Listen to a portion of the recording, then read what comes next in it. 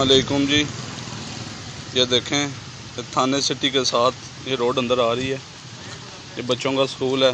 ये इसके बाद ये रास्ता बंद हो गया। दरख्त टूट गया, दीवार टूट गई है। ये रेलवे की हवेली है।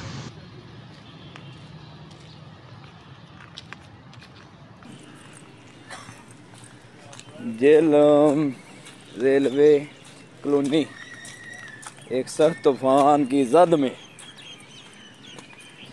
ਤਾਂ ਤਾਗਲ ਭਾਈ ਨੇ ਦਿਏ ਮੈਂ ਪਿੱਛੇ ਹੈਰ ਹੱਬੜ ਲੈ ਲੱਪੜਲੀ ਸਾਈਡ ਸਾਰੀ ਠੀਕ, ਉਹ ਤੋੜ ਤੱਕ ਸਾਰੀ ਬਰਬਾਦੀ ਪਟਣ ਗਈ ਹੈ ਸਾਰਾ ਬਰਬਾਦ ਹੋ ਗਿਆ ਜੇ, ਰੇਲਵੇ ਕਲੋਨੀ।